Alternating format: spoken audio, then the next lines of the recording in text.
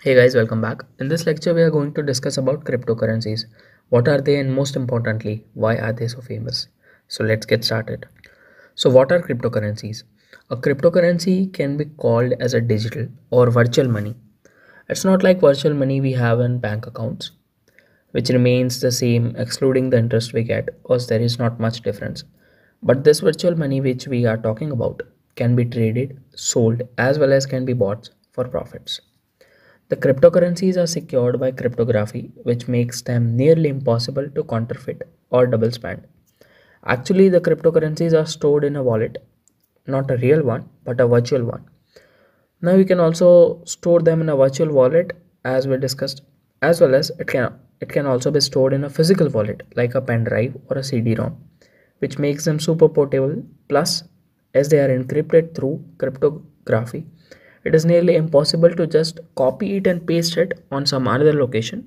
It's doubling it. So due to cryptography, it's nearly impossible to counterfeit them or double them. The transaction of bitcoins are implemented using the blockchain technology. We discussed about the blockchain technology previously in this course. The deep dark web works on the same blockchain technology.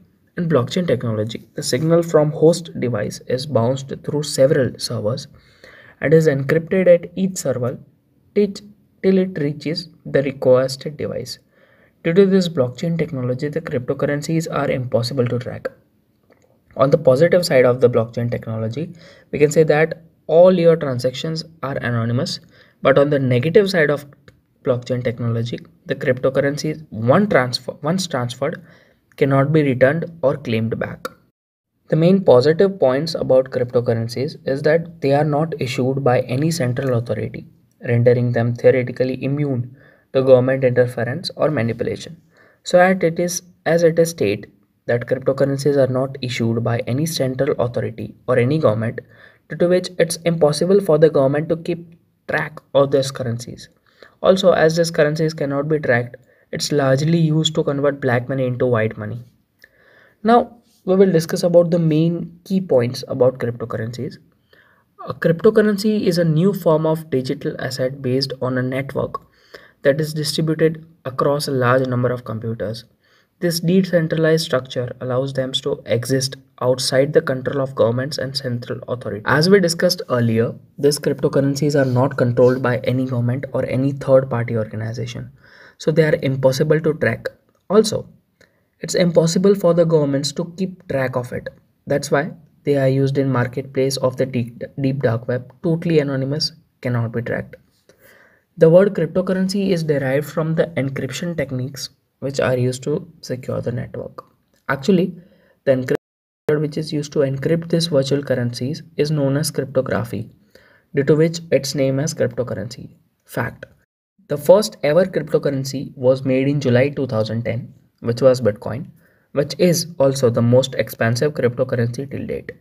It said that it was developed by Satoshi Nakamoto, who is a Japanese person.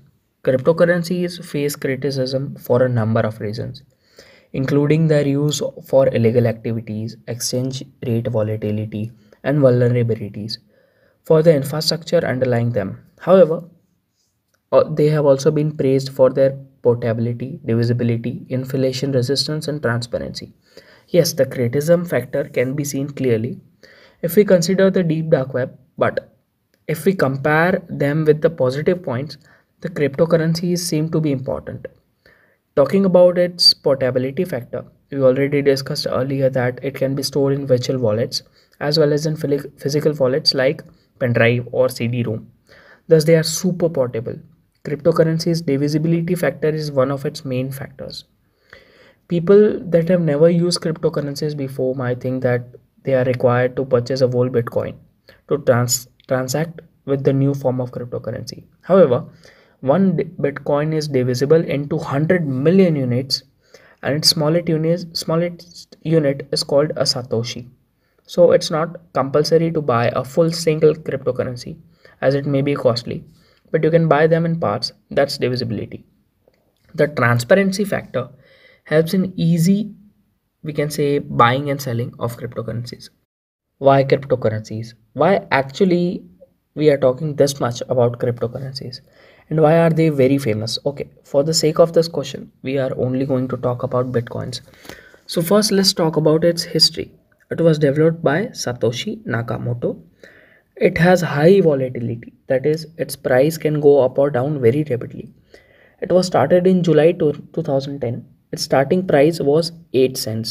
Okay that was 2010 but talking about 2020 its price is $16,563 that mountain high 20 million percent increase. And that's not a small value. Let's see its graphical form.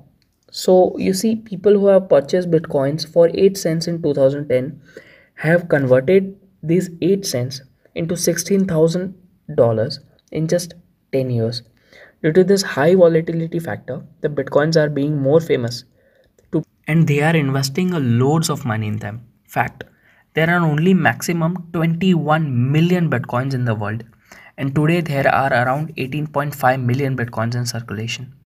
You guys, that's it for this lecture. We discussed about the origin and the basic points about cryptocurrencies. In the next lecture, we'll be discussing about the advantages and disadvantages of cryptocurrencies. See you there. Thank you very much.